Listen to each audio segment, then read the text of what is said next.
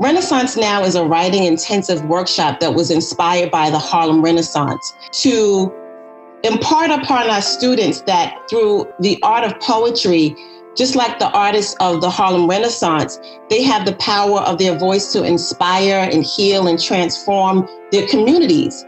I present to you our Renaissance Now poets.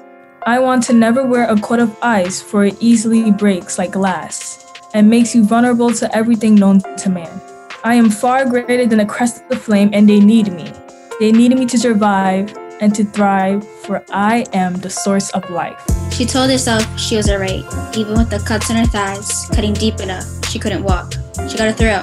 Heartbreak at its best can show you that no matter what, I'm still here. I want to learn to walk without blinking like Terrence Hayes.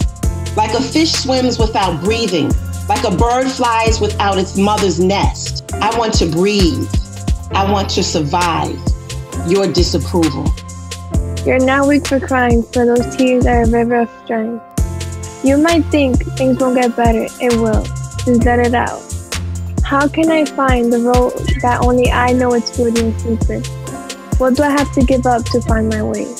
America, a country based on the color of a person's skin. America, does my color intimidate you? Does my background intimidate you? Why do you insist on killing my people? Are we going to build a America together or watch our country fall apart? My accent, my hola, my poder, brightens the darkest night while my tears fuel the burning thirst of millions. My smile is the sun. My luminosity travels the world, gripping the beating hearts of thousands. My birthday should be a national holiday, bestow upon my name in the Bible, then tell Adam and Eve I said hello.